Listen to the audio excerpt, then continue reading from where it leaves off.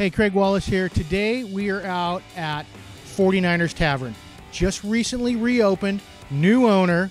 It's a local watering hole right here on the corner of PCH, Bellflower, 7th Street at the Iron Triangle. Let's go on in, talk to John. He can tell us everything about the great new remodeled 49ers Tavern. Come on.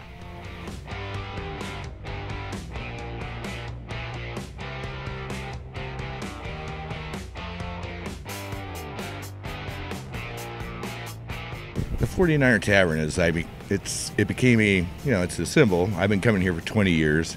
You know, you fix it up, put a little lipstick on the you know the rascal, and call her good. You know, I mean, because you can't change a bar from what it is. What do we have on tap? How many taps do we got? What do we got? 15 taps. Come on out, say hi to John, grab a cold beer, have a burger, and enjoy 49ers Tavern.